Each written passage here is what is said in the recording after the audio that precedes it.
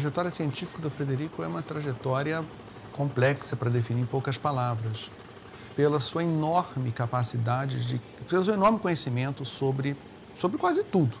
Desde a área da micologia médica, passando pela entomologia, passando pela malacologia, passando pela botânica, é, e, e depois, evidentemente, ele centrou fogo na, nos estudos em epidemiologia da esquistossomose, mas também tem toda uma discussão dele publicada relacionada à reforma sanitária, políticas de saúde, sistemas de saúde. Eu considero que foi um dos melhores cientistas que o Brasil conseguiu produzir no século XX. Ele era um homem que, que, que tinha uma visão para o futuro.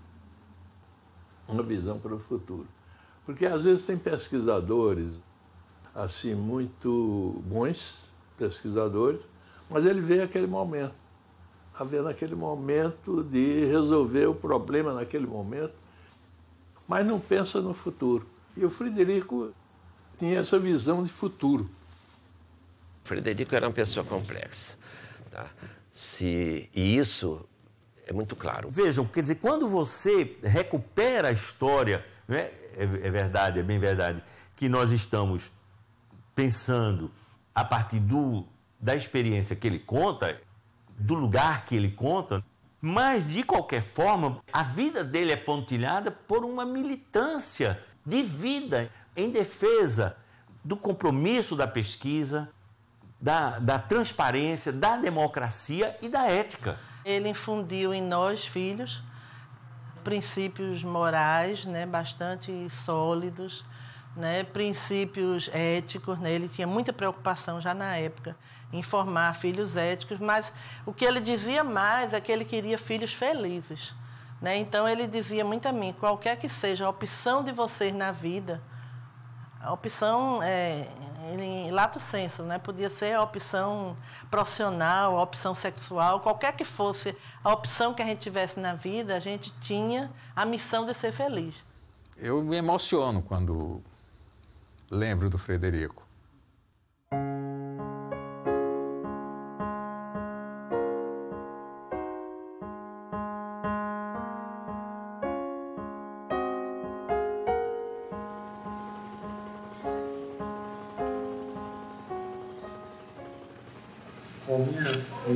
Lembranças da minha infância são muito agradáveis. Eu sou, sou filho de, neto de, de, de médico, meu avô médico clínico, chamava-se Adolfo Simão Barbosa. E o ambiente familiar foi muito, sempre foi muito tranquilo. E eu vivi uma infância como todo garoto, jogando futebol na rua, correndo de bicicleta, com muita liberalidade. Né? Meu pai, meu, meu, meu avô, eram homens profundamente liberais, no sentido assim, não político, mas mais aberto, mas liberação pessoal. Né?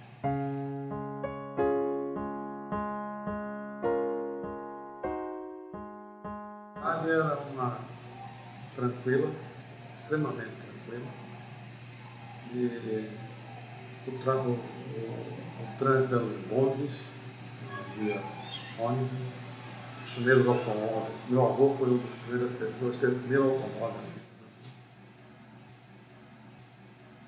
Acontecimento tem um que ficou na minha memória, foi a inauguração do Hospital do Centenário. Essas coisas eu menciono porque eu me lembro da festa, me lembro que meu pai levou o piano dele para tocar durante a festa. Me lembro de uma tempestade que caiu e onde ele gostava de tocar, ele tocava bem, ficava claro.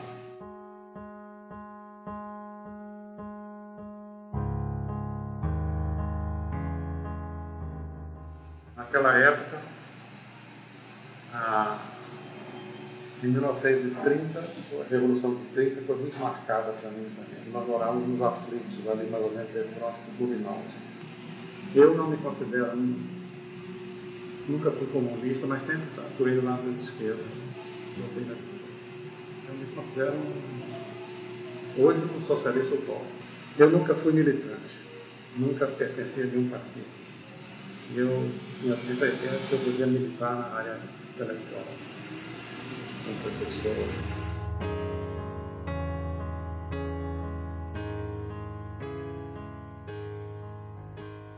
Mas eu pontuaria que o percurso da vida dele é um percurso de um homem, de um pesquisador, de um profissional, em que o rigor da pesquisa científica se coaduna, é indissociável de um comprometimento político.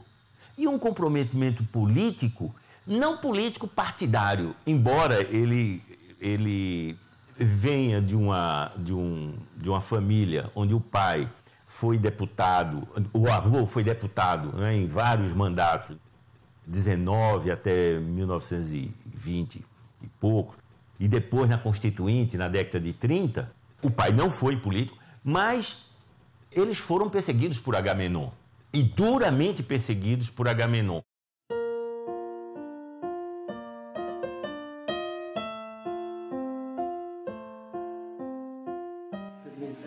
Medicina foi uma, nenhuma outra possibilidade. Eu, eu insinuei, cheguei a falar meu pai me mandar para São Paulo para fazer ciências biológicas. Não existiam. Naquela ocasião só existiam as três faculdades. E ele não, não, não convocou. Então não tinha outra possibilidade, então senão. Mas abriu eu, eu escrevi no curso médico, passei a possibilidade. Bom, outra influência muito grande também é que no meu quinto ano médico, esse professor que eu já citei, professor da Universidade de São Paulo, Samuel Pessoa, veio a Pernambuco e deu um curso aqui de dois meses de parasitologia. Isso definiu a minha, a minha orientação para doenças parasitárias.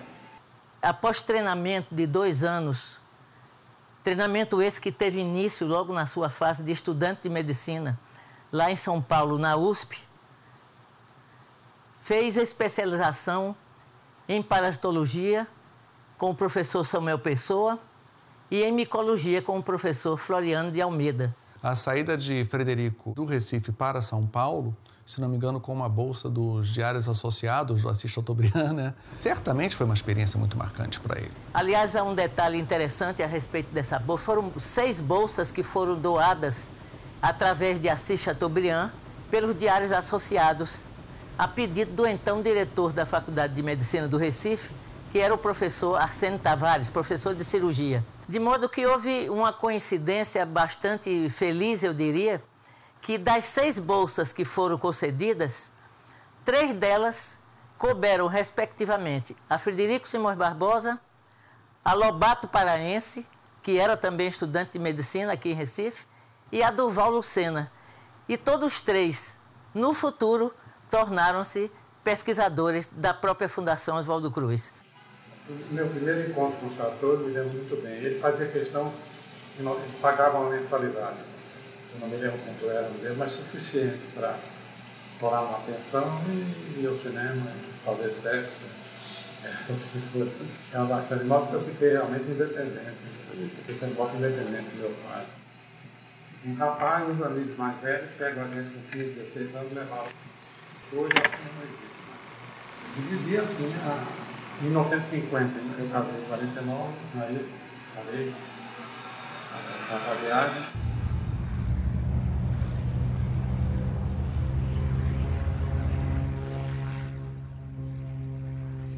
Eu voltei para o Rio de Janeiro para cavar uma bolsa, a coleção dessas bolsas no exterior. As informações que eu tive é que a Hoje a Fundação SESP, que já acabou também, hoje a Fundação Nacional de Saúde. De modo que eu, eu falei com, com o superintendente do SESP, chamado superintendente, me inscrevi lá no SESP, nas bolsas, ele me disse, não, nós vamos mandar, não sei, um número limitado de funcionários, médicos e enfermeiros do SESP, da Fundação e sobram sempre algumas vagas. Dessas algumas vagas, há algumas inscrições, a gente sorteia, sorteia não, escolhe por, faz uma seleção. E como eu fiz a seleção eu caí nessas, vagas e fui com, com, a verba da fundação técnico fui passar, fazer um mestrado em saúde pública no estado de Aí eu não abandonei as minhas atividades biológicas, mas eu comecei a pensar mais ah, uma, uma saída social. Melhor. Você toca com os problemas sociais, somente mais parasitólogos humanos. E eu, tava, eu, eu não gostava muito de laboratório, de secar, tinha. Meu programa de trabalho era no campo. Se não me engano, foi um dos primeiros brasileiros a obterem o título de mestre em saúde pública, o MPH, né? E além desse, desse mestrado, durante os períodos de verão, aproveitando a oportunidade do que lá são conhecidos como os summer courses, ele fez cursos de entomologia, especializando-se, portanto, em mais essa área da parasitologia. Datam dessa época, nessa faixa entre 45 e 50, mais ou menos, a publicação de cinco novas espécies de culicoides, porque ele dedicou-se ao estudo da sistemática de fungos e de mosquitos e de insetos, dizendo melhor. O retorno dele, ele traz uma série de metodologias de investigação nova, sem ter perdido, ou seja, diferente da Carmen Miranda, ele não se americanizou, o que acusam a Carmen Miranda, né? Ele não se americanizou, ele volta com as mesmas preocupações sociais e políticas, ideológicas que Frederico tinha e que ele sempre esteve deste lado, de um lado progressista, de uma visão comprometida da ciência com a sociedade, como cidadão e como cientista, ou seja, ele foi sempre muito coerente, a meu ver. Né? Que as coisas correram assim até que na década de 40, meados da década de 40, houve contato entre a Almica Baca Pelon e o Agil Magalhães para a instalação de uma construção de um centro de pesquisa com estudos voltados para as endemias, particularmente para a estosomose e as parasitoses intestinais. Esses contatos foram avançando, o prédio começou a ser edificado num terreno cedido do antigo Hospital do Centenário, no Hospital do IPSEC, cedeu um terreno no, no que dava para a Rua do Espinheiro, número 106, Rua do Espinheiro 106, onde foi finalmente instalado. O fato é que no dia 2 de setembro de 1950, eu estava nomeado diretor do Instituto, e o Instituto estava completamente mobiliado e equipado para pesquisa. Foi uma, uma grande vitória para Pernambuco. Né? A partir do momento em que ele se tornou diretor do centro, até por uma questão de, de lógica e de compromisso com o objetivo para o qual a instituição havia sido criada, sob os auspícios do Dr. Barca Pelon, que era diretor da divisão de organização sanitária do Ministério da Saúde daquela época, a obrigação desse nosso instituto era de trabalhar nas endemias rurais e, de uma maneira especial, trabalhar em esquistosomose. Tracei uma estratégia de começar pelos vetores, pelos transmissores da esquistosomose. Então foram feitos estudos de sistemática dos moluscos, depois a biologia e a ecologia dos moluscos, e aí por diante a epidemiologia e o controle da esquistosomose. Houve realmente uma estratégia de desenvolvimento, porque naquela ocasião pouco se sabia sobre a exosomose maçônica e outras endemias no Brasil. A fundação do centro de pesquisa desse e dos outros dois que se seguiram a esse, né, um em Belo Horizonte e um na Bahia, foram uma necessidade para o país, para o esclarecimento das endemias rurais que eram problemas e ainda são hoje problemas de muita importância no país. Eu acho que o caso da estrossomose é um, é um caso exemplar que mostra a, a completude de Frederico como intelectual na sua maneira de pensar questões, pensar problemas.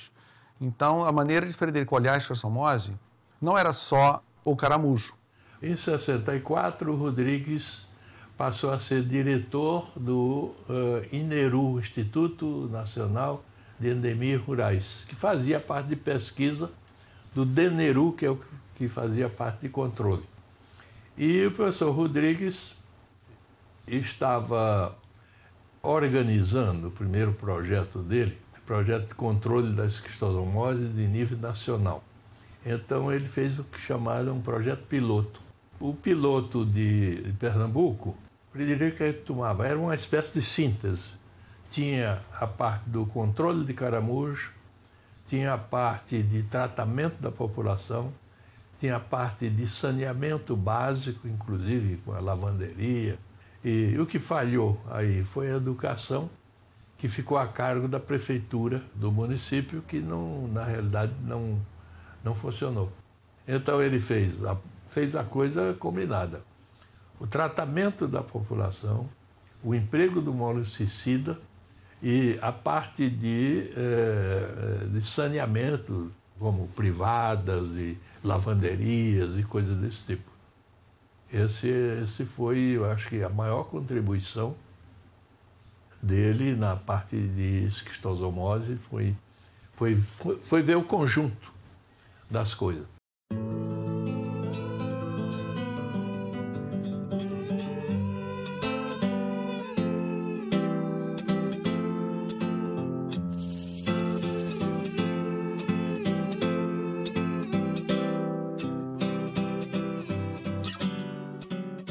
Acho que o projeto Encatende foi uma grande iniciativa numa interface entre todos os campos do conhecimento que produzem o que se entende como esquistossomose, mas com uma dimensão de medicina social muito forte, segundo as características da época. Frederico, efetivamente, ele mostra como que jovens que eram, são trazidos do sertão do interior pernambucano e levados para a lavoura canavieira, num determinado início de suas vidas, quando eles ainda não estão infectados pelo Schistosoma mansoni, porque no sertão não há transmissão dessa doença, eles contraem a doença no canavial, na zona da mata, ele, ele mostra que a produtividade desses rapazes, desses jovens, na, no corte diário da cana, que vai até uma tonelada por dia, vai caindo conforme essa pessoa vai se infectando e até o momento que esse, esse, esse jovem é descartável. Então, eu acho que tanto um quanto o outro foram projetos pioneiros de uma epidemiologia social, né, já, entrando no campo de uma epidemiologia social, que se sofistica, mas que no Brasil poucas pessoas praticavam. Ele é certamente um pioneiro. Aí nós começamos a trabalhar com os molusticidas, porque era considerado pela Organização Mundial de Saúde que foi um grande engano, que não é verdade, que o melhor método para controlar seria o uso persistente de molusticidas são substâncias poluidoras do meio ambiente. E aí veja a importância do pesquisador que tem uma visão ampla e que trabalha de uma forma internacionalizada. Ele convida nessa época dois pesquisadores americanos, Luiz Olivier e Charles Dobrovony, que são especialistas em molusticidas. Esses homens contribuíram de maneira notável para o desenvolvimento da pesquisa na geomoganese. O monoxicida é um tóxico vigoroso, porque ele mata os caramujos em uma concentração bastante elevada. Mas ele é caro, o preço mesmo, o preço de aplicação é mais caro a mão de obra para aplicar o monoxicida do que propriamente o pó. E ele praticamente, hoje ele praticamente está abolido no país, e em quase todos os países. Mas foi uma luta política minha de, de talvez de uns 30 anos. Isso mostra a lentidão de mudar o pensamento científico de qualquer maneira quando ele está impregnado, impregnado pelas forças produtivas, interesses produtivos, econômicos. Né? E esse trabalho que ele publicou, então, foi um trabalho de, que caiu como uma bomba e que efetivamente fechou a, a, a continuidade dessa, desse, desse tipo de intervenção, pelo menos no Brasil e na maioria dos países. São outras as estratégias para você chegar a um controle efetivo da doença. E essas estratégias, segundo Frederico, não podiam se calcar só no plano do matar caramujo. Você tinha que efetivamente matar a pobreza. A raiz da doença estava na pobreza e não no caramujo. Pode parecer que essa é uma reunião de malacologista fato não é. Ela procura dar uma visão de controle das automóveis, desde uma macrovisão, do ponto de vista social, operacional, até o micromundo da genética. Esse trabalho vem se desenvolvendo há cerca de sete anos, tanto em laboratório como no campo. E tem demonstrado a capacidade competitiva muito grande de quando comparada com a designer de trabalho. Pode passar o slide, por favor. Alguns detalhes do trabalho de laboratório, adiante. Outro. Outro. Essa é uma área de campo na, no município de Arrenda, na Paraíba, um trabalho de desenvolvimento. Depois ele fez um projeto, aí já não era dentro desse, lá em Alhandra, na Paraíba. E ele fez uma parte de competição de caramujos. Ele desenvolveu um tipo de caramujo que não reproduzia esse caramujo, mas ocupava o espaço do que se reproduzia. E deu certo no, no início. Mas depois isso ficou, isso dependia de recursos governamentais, de projetos CNPq e tal. Ele fez isso, isso seria uma. Ainda hoje se faz para certas bactérias, por exemplo. Hoje estão cuidando de infectar esse mosquito que transmite o dengue, a zika e fazendo um tipo de colocar uma bactéria que infecta o mosquito e esse mosquito infectado ele prolifera, mas não deixa que o vírus desenvolva no mosquito. Era mais ou menos a base era a mesma, né? Hoje tem uma palavra muito usual que muita gente não sabe, é, é uma pesquisa translacional. O que é que significa isso? É você juntar a pesquisa básica com a pesquisa aplicada. E isso é uma área nova. Pesquisa translacional não é nova, é antiga. A palavra que é nova, né? Então, a pesquisa translacional. E o Frederico, na realidade, fazia isso. Ele fazia a pesquisa básica e aplicava. E eu acho que isso é o grande, é o ponto alto do Frederico.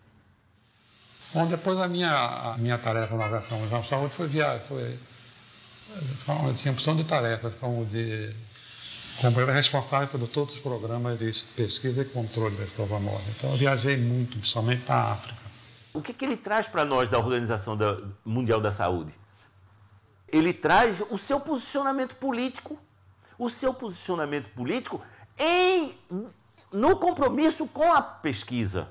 Porque o compromisso com a pesquisa é um compromisso, um compromisso social e um compromisso ético. E ele diz, em um segundo momento, que eu fiquei muito, numa situação muito delicada, é que eu entro numa reunião e estão numa reunião da diretoria dos cientistas da Organização Mundial da Saúde e estão dois representantes da Bayer. E eu fiz uma fala dizendo que não concordava que dois é, representantes de uma empresa privada participassem da discussão, como participaram, inclusive, dando opiniões. A minha avaliação é que esse trabalho do Frederico na Organização Mundial da Saúde com a cistosomose ajudou muito e influenciou a criação do maior programa de cooperação das Nações Unidas, porque não é só da OMS, embora esteja muito vinculada ao nome da OMS, que é o, o programa de pesquisa em doenças tropicais, o TDR na, na, na, na sigla em inglês, né?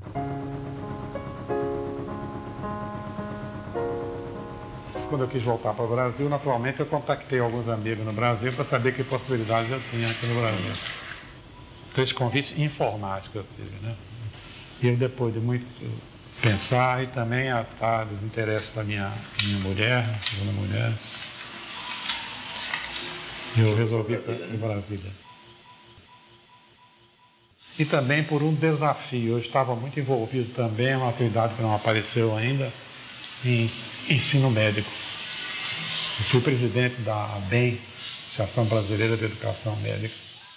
Então, a vinculação do Frederico com a educação é muito forte, embora às vezes ele seja visto muito mais como um epidemiologista, como um pesquisador de cistosomose, mas a influência dele na educação médica, na saúde pública em geral, foi muito forte. Essa preocupação dele da, da formação de médicos com uma visão do todo, uma visão com, complexa, porque ele entende que o processo de adoecimento nas comunidades é um processo que envolve uma multitude de fatores. Ele não acreditava que o único modelo de capacitação, de formação, se você quer chamar, fossem os cursos tradicionais. Ele acreditava muito, quer dizer, tá, na, trabalhar com os alunos nos, nos, nos projetos de pesquisa, trabalhar nos alunos nas bolsas de pesquisa, na questão dos professores visitantes, uma série de modalidades complexas para contribuir para a formação das pessoas. Não quero nem falar formação de quadro, mas formação de pessoas. Todos os, os filhos de Frederico, que a gente chama assim, né? todas as pessoas que foram formadas por ele, né? tanto em epidemiologia, em sociologia, né? ele também tinha alunos da sociologia que procurava Frederico. Todos eles iam beber da fonte de, de, de sabedoria que ele tinha e da disponibilidade que ele tinha de transmitir o conhecimento. Né? Eu acho que também era uma grande capacidade e felicidade que ele tinha quando ele via que a gente estava lá para perguntar, para assimilar, né? ele se doava inteiramente né? nesses momentos de passar o conhecimento. Eu sempre lembro de Frederico sendo generoso com os estudantes. E era para qualquer pessoa. Qualquer estudante, qualquer aluno.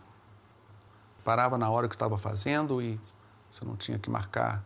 Era, era uma pessoa muito especial. A sua preocupação com a, a formação de jovens pesquisadores era muito grande, era, era, era, eu diria até que era um acompanhamento quase paternal o que ele fazia, a tal ponto que quase que diariamente ele costumava fazer visitas inesperadas, visitas frequentes e inesperadas aos laboratórios. Onde ele entrava, nós estávamos pegos de surpresa ali, trabalhando, e ele perguntava sobre o andamento da pesquisa, o que é que estava fazendo, que dificuldade estava encontrando, e imediatamente pedia para ver alguns resultados e propunha soluções eh, para contornar o problema ou para tocar para frente um obstáculo qualquer que tivesse surgido? Eu era o mais novo de toda a equipe. Eu era eu era um estudante de graduação, recém começando, né? E acho, inclusive, que o Frederico me atribuiu muitas responsabilidades naquele momento que, às vezes, até me assustavam. Nossa, mas eu vou ter que fazer isso? Será que eu sei? Eu ficava meio assim, mas e um depoimento que me faz lembrar outra característica do Frederico, que era o fato dele tratar pessoas muito mais jovens com muito respeito e estimulando as pessoas a, a, a ter confiança em si mesmo. Foi isso que me marcou muito na convivência como discípulo do Frederico. Quer dizer, aprender a ter ousadia e autoconfiança. É um homem que formava discípulos não só aqui no Instituto, em Brasília, por onde andava, formava discípulos. Então eu aceitei o convite para ser professor titular de medicina, medicina comunitária era o nome, em Brasília. Eu cheguei no Brasil em fevereiro ou março de 72. Bom, eu sabia que a Universidade de Brasília era uma das mais repressoras instituições públicas no país. Eu tinha um programa comunitário de medicina comunitária numa cidade satélite de Brasília, Planaltina. Um programa que estava financiado por duas organizações internacionais. E era um programa eclético, que reunia professores da área da saúde, da área das ciências sociais, e de outras áreas. Nós já estávamos há cinco anos na Universidade de Brasília. E eu trabalhava no hospital, era microbiologista, e víamos as crianças adoecerem e morrerem em quantidade. Terminavam, começavam com diarreias, tornavam-se uma sepsemia e terminavam na UTI. E muitas daquelas crianças iam a óbito. E víamos que eram doenças que poderiam ser prevenidas. A Míria, que era minha mulher, era assistente social e desenvolveu já um trabalho importante com a comunidade. Sabia conversar com as famílias na comunidade e mobilizar essas famílias. E o Frederico chegou com toda a experiência dele, com a experiência anterior aqui em Pernambuco. Ora, acontece que anexo a essa cadeira, era chamada cadeira na época, a essa cadeira de medicina preventiva na Universidade Federal de Pernambuco, funcionava o chamado Instituto de Higiene do Nordeste. Frederico achava que esse curso estava funcionando, mas em bases muito conservadoras. Era um curso de, que formava médicos sanitaristas e outros profissionais da área de saúde, mas em bases ainda muito clássicas. Ele então dizia sempre que quando ele fosse aprovado no concurso, a primeira coisa que ele faria era extinguir esse curso para criar um outro curso em bases muito mais modernas. E foi o que ele fez. Foi extinguir o Instituto de Higiene e criar uma nova instituição anexa à, à, à cadeira de medicina preventiva. Aqui ele deu um nome, um nome bastante longo, chamado Centro Regional de Investigação e Ensino em Higiene e Saúde Pública. Esse nome longo tinha a sigla curta de CRIESP. E o que tinha de realmente muito novo era a ideia, a sugestão de que não se trabalhasse mais com um currículo rígido, fixo, mas que o curso fosse dado através da administração de cursos isolados. O CRIESP representou a primeira experiência de integração uh, docente assistencial realizada em Pernambuco e talvez uma das primeiras do Brasil.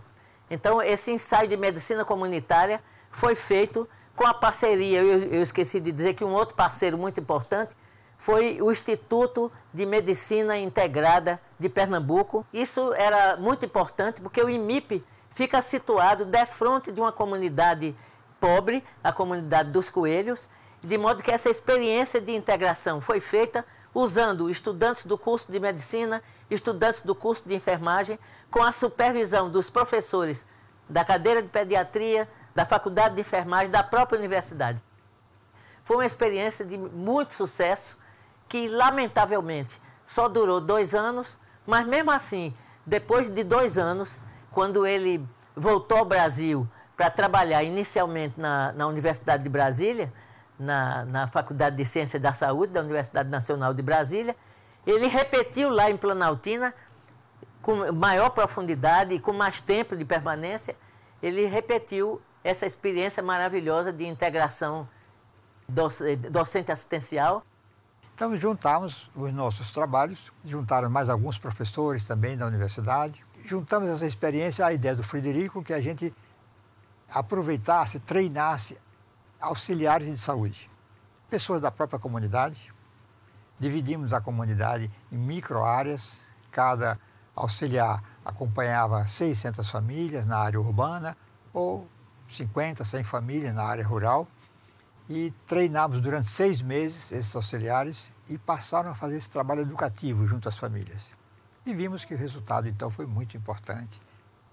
Na época, nós chamamos lá de auxiliares de saúde. Depois, eu saí da universidade com a Miriam, voltamos para o Ceará, lá para o interior do estado, como sanitaristas, e aí levamos à prática, lá em pleno sertão, 400 quilômetros distante de Fortaleza, como adaptar aquilo que era o auxiliar de saúde de Planaltina num novo profissional que era o agente comunitário de saúde. De 79 até 86, nós adaptamos essa experiência lá no sertão do Ceará, como sanitaristas.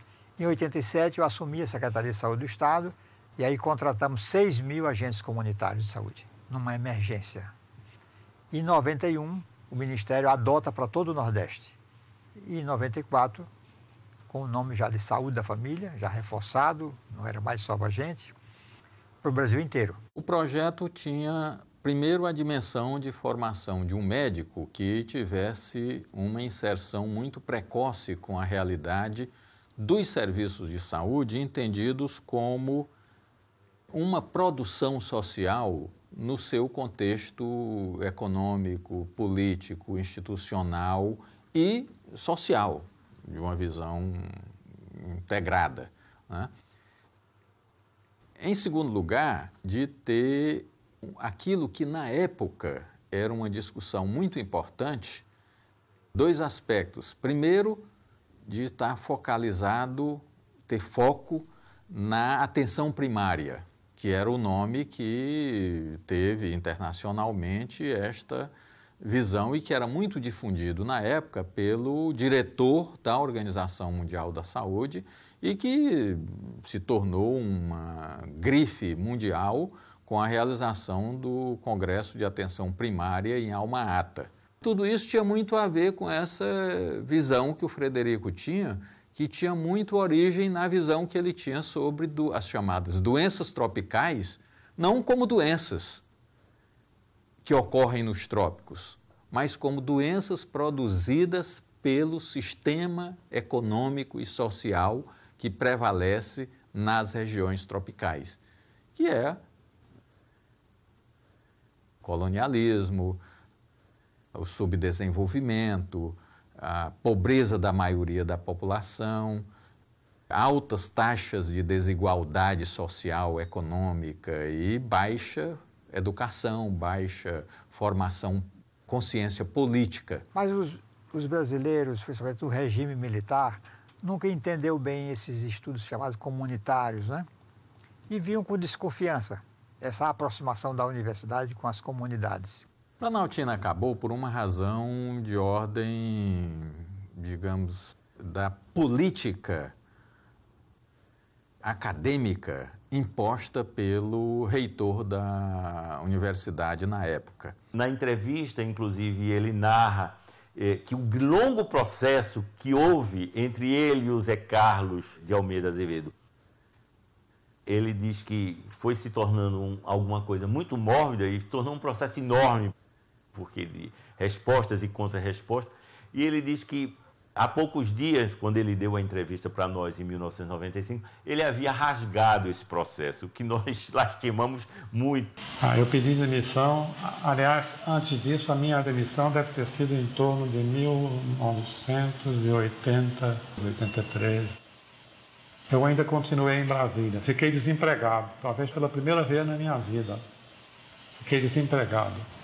E imediatamente eu fui chamado para o Ministério da Educação surgiu o nome de Hernani Braga, o maior sanitarista brasileiro, foi diretor da Escola Nacional de Saúde Pública, era diretor da Escola Nacional de Saúde Pública na época, a quem ele tinha insistido comigo há anos, tinha sido também meu colega na, na Organização Mundial da Saúde, e comigo insistia desde então que ia guardar um lugar para mim, uma vaga para mim porque a, a nomeação era feita por, por concurso.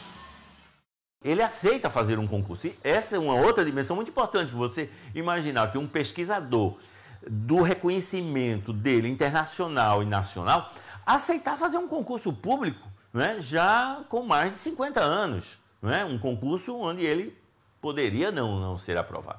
Que foi muito bonito, tá? porque o Frederico veio com aquela simplicidade dele, que eu digo não é uma modéstia, era elegância, simplicidade, prestar um concurso como se fosse um iniciante, preparando cada aula, pedindo apoio para a gente, para a gente ajudar a construir os textos referentes a cada ponto.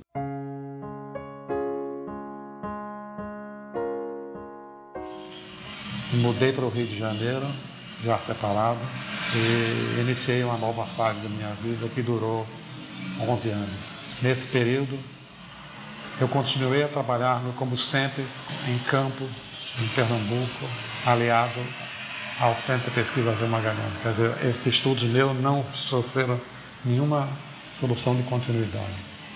Foi uma época que eu estive muito ocupado. A Escola de Saúde Pública é uma instituição muito complexa, extremamente complexa, com interesse de toda a ordem e fundamentalmente política.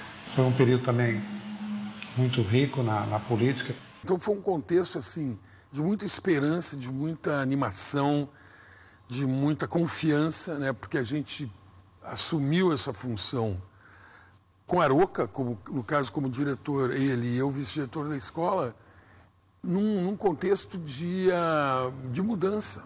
Né? Ele representando uma geração anterior à minha e eu representando a nova geração.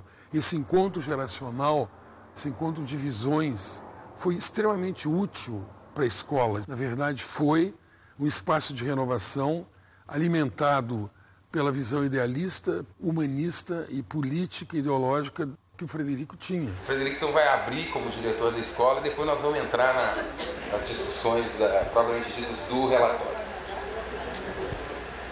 Então é uma satisfação a, a gente chegar a esse documento semifinal ou final, que vai naturalmente sofrer ainda algumas observações que estão aqui presentes, e satisfação maior por saber que a escola colaborou ativamente, todos ou quase todos, na, na produção desse documento. É um documento realmente que saiu de todos, professores, pessoal de apoio e, e alunos. Aí então ele foi construído de fato de, de baixo para cima. Dois anos depois de chegar à ENSP, ele aceita o desafio de concorrer para ser diretor da ENSP. E ele é o primeiro diretor eleito que está num processo com ampla participação, amplo debate das diferentes propostas, concorrendo inclusive com uma chapa que tinha dois dos, dos principais pesquisadores professores da ENSP, que tinham sido inclusive fundadores. E a proposta que ele vem com o grupo não era uma proposta de poder, mas sim uma proposta de reformulação do projeto da escola.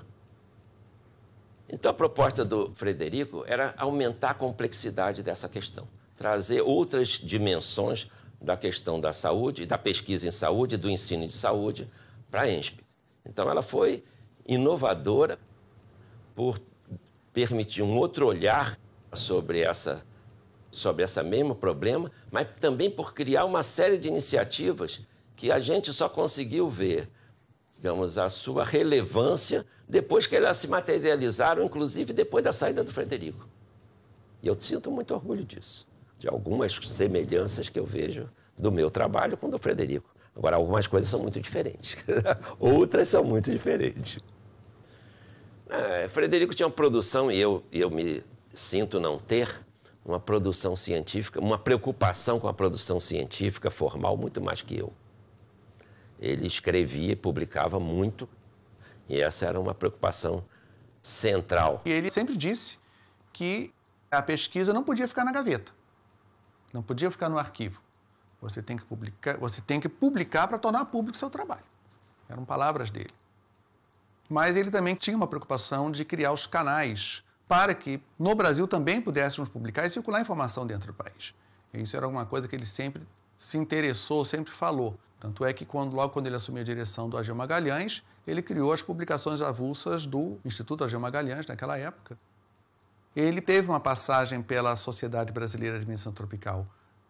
Foi editor da revista da Sociedade numa época em que a coisa estava muito frágil e ele revigorou, de certa maneira, a revista de uma maneira bastante interessante.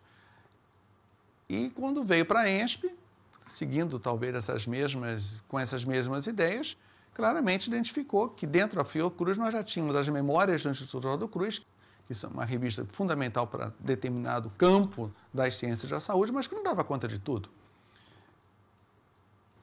Frederico então cria, dentro de uma proposta maior, com outros colegas que aqui estavam na época, os cadernos de saúde pública como um elemento que naquele, naquela, naquele, naquela, naquela época visava apoiar a reforma sanitária.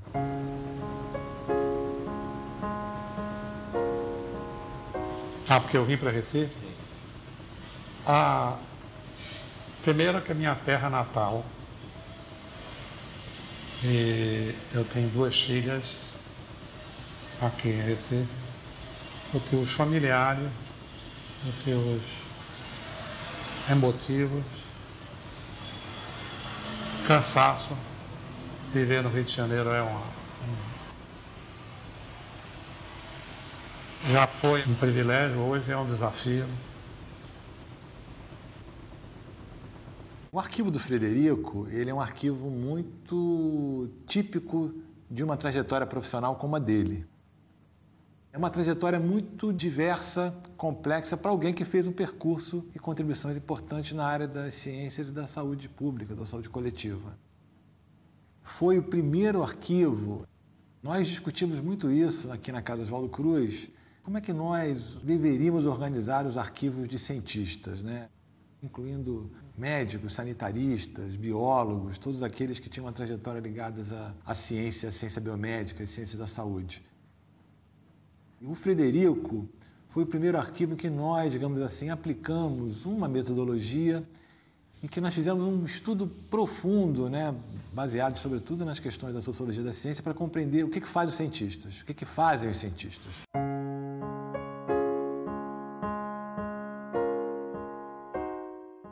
Eu aqui recebi muitas homenagens.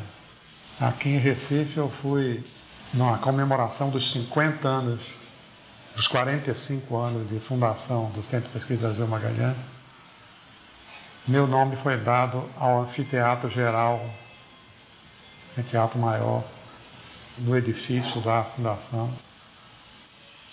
Em seguida, já em 1995, ou ainda 94, não sei, a Escola Nacional de Saúde Pública faz uma homenagem singela, mas muito comovente. Em terceiro lugar, me foi conferido o título de, na Universidade de Brasília, me foi conferido o título de professor honoris causa, numa cerimônia presidida pelo reitor Todorov, presentes vários professores Brasília e de fora de Brasília. Eu assinalo a presença de Sérgio Aroca e eu fiz um discurso de agradecimento. Hoje é um dia de muita alegria em minha trajetória de vida. A homenagem a mim conferida, eu a recebo com a humildade de quem procurou trilhar com simplicidade os caminhos da verdade e da dignidade. Hoje, perto dos 80 anos, vivo como todos os brasileiros a perplexidade do momento político que atravessamos. A confusão é geral, diria o Barão de Tararé. As universidades brasileiras têm papel de relevância. Sua missão não mais se assenta sobre o famoso tripé ensino, pesquisa extensão. Criar e transmitir o saber são suas precípuas obrigações. Entretanto, estas atividades só serão válidas se estiverem comprometidas com o bem-estar social. A produção científica deve ser simultaneamente um bem cultural e um instrumento de trabalho socialmente comprometido. As atividades docente e científica são parte da sociedade e só poderão ser entendidas como instrumentos de realização de objetivos sociais bem determinados. Seria oportuno lembrar a quem vem servindo o desenvolvimento econômico? A resposta é simples e clara, desde que o capitalismo moderno descobriu que os países podem crescer economicamente mantendo as desigualdades sociais. Isto é particularmente grave nos países do terceiro mundo. O mundo que se transforma exige que a educação tenha o sentido de preparar o homem com consciência moral e ética, capaz de valorizar a educação como instrumento de transformação. Isto implica em reconhecer que a educação deve ser encarada como prática social e a pedagogia como seu instrumento. Estão as universidades preparadas para comandar estas mudanças? Termino esta despretensiosa mensagem na velha e sábia Grécia, quando Anaxímenes escrevia Pitágoras. Como posso preocupar-me com o segredo das estrelas quando tenho sempre presente a meus olhos a morte ou a escravidão?